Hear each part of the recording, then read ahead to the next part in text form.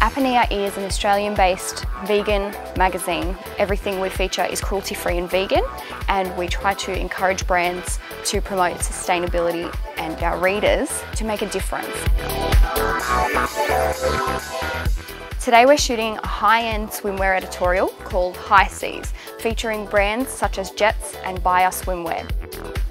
Not only they use recycled fishing nets as the material for their swimwear, they look for further ways to help our environments and save our oceans.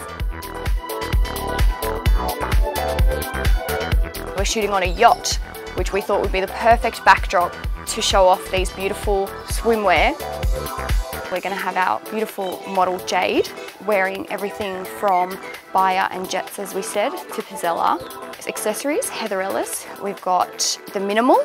We'll also be shooting products provided by V-Spot which is actually a vegan online marketplace. We've got Votch Designer based over in London. They provide vegan watches with vegan leather strap. We're so lucky to have these guys on board. Their enthusiasm and love for the ocean just shines through and we completely 100% agree with everything that they do. Our mission today is to show that vegan is not boring. It's not hippie and it's not tie-dye. We can be fashion conscious and eco-conscious at the same time.